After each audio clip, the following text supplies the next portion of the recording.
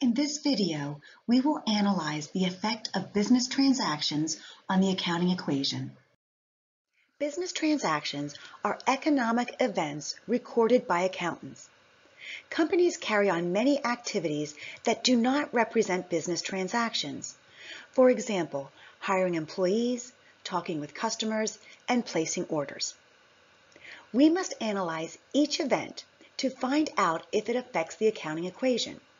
If it does, we record the transaction. For example, buying a computer and paying rent are an example of events that change a company's assets, liabilities, or stockholders' equity. Each transaction has a dual or double-sided effect on the equation. For example, if an individual asset is increased, there must be a corresponding decrease in another asset or increase in a liability or stockholders' equity item. There are numerous business transactions. Let's look at some possible transactions. I just stated, if an asset is increased, there must be a corresponding decrease in another asset, increase in a liability, or increase in stockholders' equity. So we can exchange assets, so one asset increases while another decreases. A great example is collecting cash from a customer. This results in an increase in cash and a decrease in accounts receivable. Assets may go up because we have purchased assets on account or a credit purchase. In this instance, both inventory and accounts payable increase. Another example would be obtaining finance from a bank, so both cash and notes payable would increase. A company may issue stock and receive cash. As a result, both cash and common stock, a stockholder's equity account, will increase. Another possibility, we may have paid off a liability. So in this instance, both assets and liabilities will decrease. An example would be cash going down and accounts payable or notes payable. If we pay a dividend, cash will decrease as well as stockholders' equity.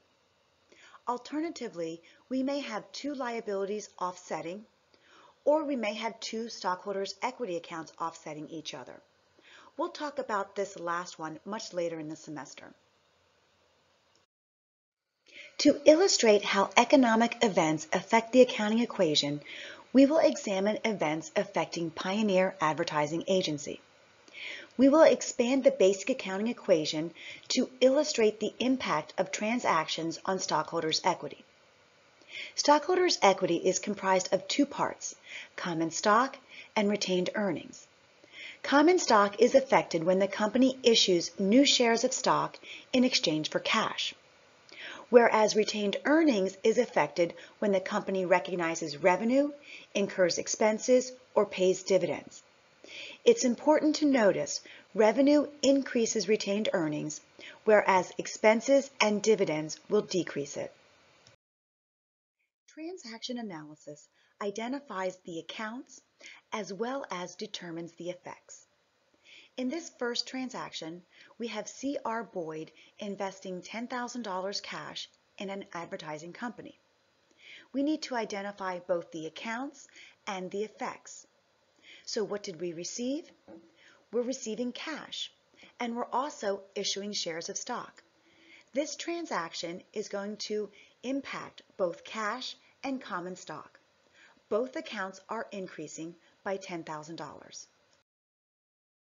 In the next transaction, we obtain equipment by signing a three-month note. This transaction is impacting an asset account, equipment, and a liability, notes payable. Both accounts are increasing by $5,000.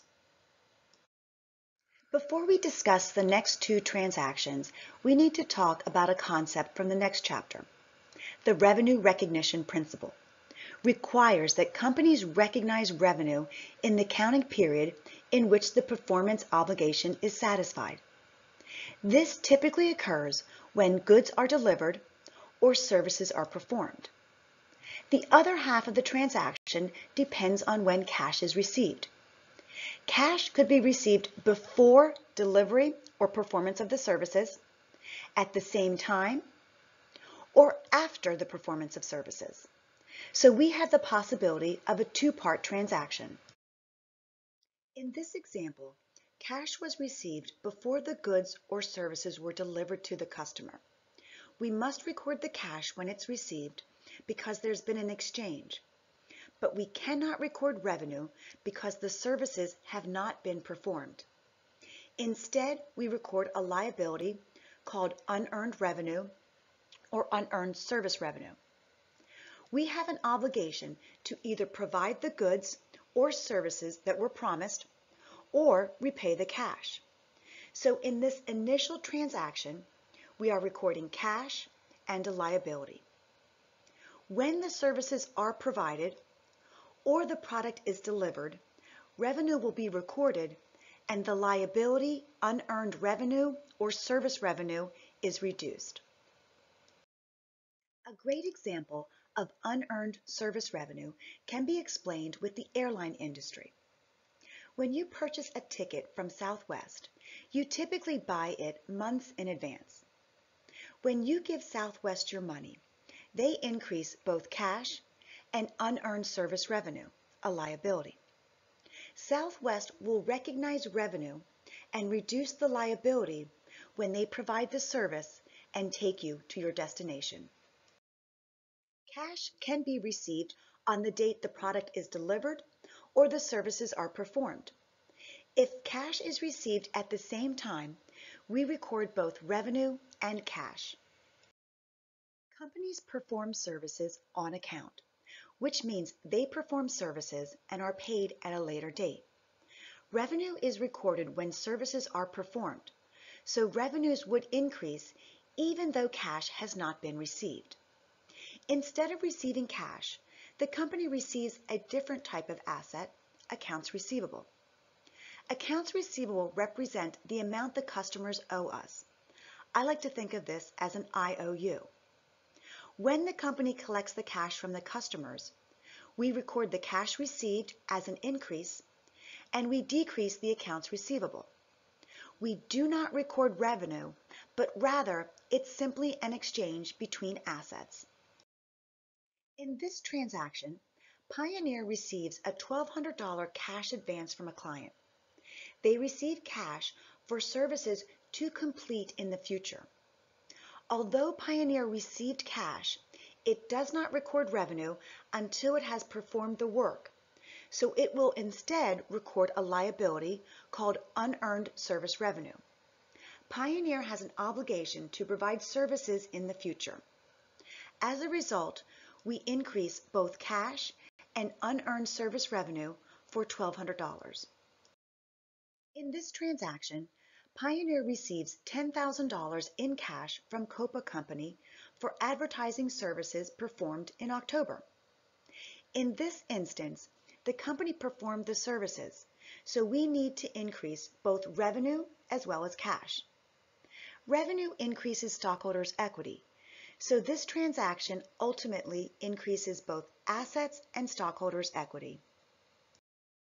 Let's suppose that Pioneer had performed these services on account rather than for cash. This event would be reported using accounts receivable and revenue.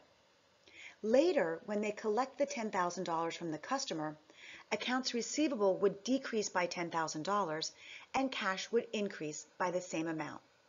The collection of the receivable does not affect revenue. Before we talk about the next few transactions, we need to talk about another concept from the next chapter, the expense recognition principle, often referred to as the matching principle. It dictates that we match expenses with revenues. So companies recognize expenses incurred to generate revenue in the same period. Cash may be paid beforehand, on the same day, or afterwards.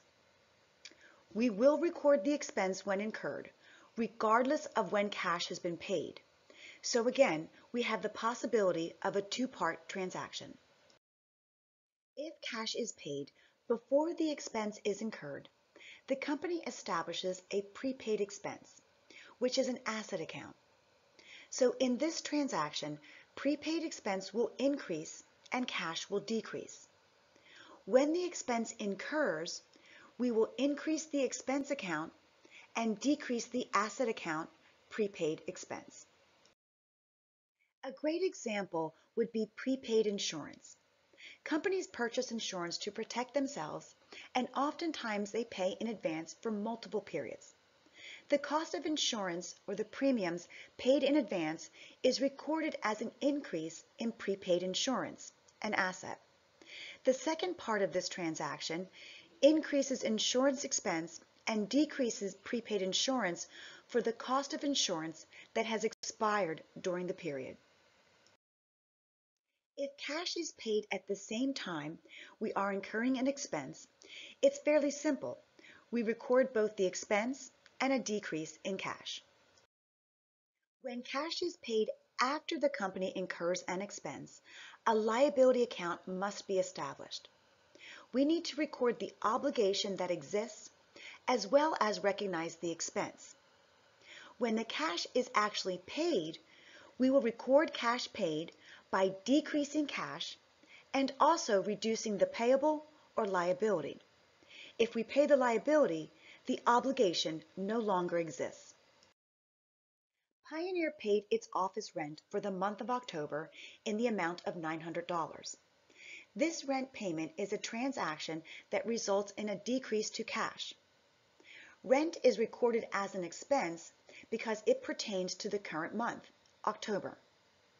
Pioneer records the rent payment by decreasing cash and recording an expense. We show expenses as a decrease because expenses decrease stockholders' equity. In this transaction, Pioneer pays $600 for a one-year insurance policy that will expire next year. Payments of expenses that benefit more than one accounting period are identified as assets called prepaid expenses. The balance in total assets did not change. One asset account decreased, cash, by the same amount that another increased, prepaid insurance. In this transaction, Pioneer purchases an estimated three months of advertising supplies on account from Aero Supply in the amount of $2,500. In this case, on account means that the company receives goods or services that it will pay for at a later date. This transaction increases both an asset, supplies, and a liability called accounts payable. Supplies and prepaid insurance are recorded as an asset because they are available for future use. Recording the expense occurs when they are used or expire with time. We'll cover this concept in the next chapter. Pioneer hired four new employees to begin work on October 15th. A business transaction has not occurred. There is simply an agreement between two parties. When Pioneer pays their employees, that will result in a business transaction. In this transaction, Pioneer paid a $500 cash dividend. So cash is decreasing as well as dividends because dividends reduce stockholders' equity. Please note, dividends are not an expense. They are a distribution to the stockholders or the owners. In this transaction, Pioneer pays $4,000 in salaries to its employees, which decreases cash. Salary and wages expense reduces stockholders' equity. In this transaction, both assets and stockholders' equity are reduced. We need to total each column to summarize the transactions for the month of October and to show their cumulative effect on the basic accounting equation. As you can see, assets total $23,300 and liabilities and stockholders' equity total the same amount. Now it's your turn to analyze transactions. Please open the Excel file and complete this learning exercise.